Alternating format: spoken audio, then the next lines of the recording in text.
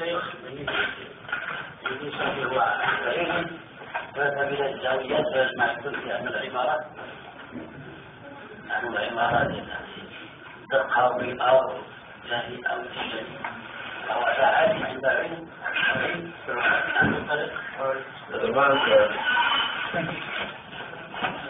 هذا لا علم عنده. لأن العلم يقول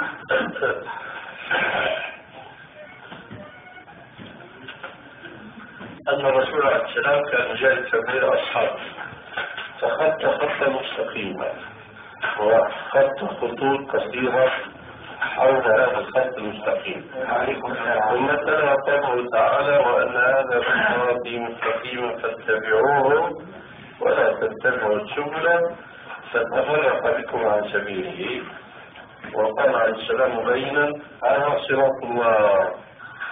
وهذه السرط وعلى كل صراط منها شيطان يدعو الناس إليه.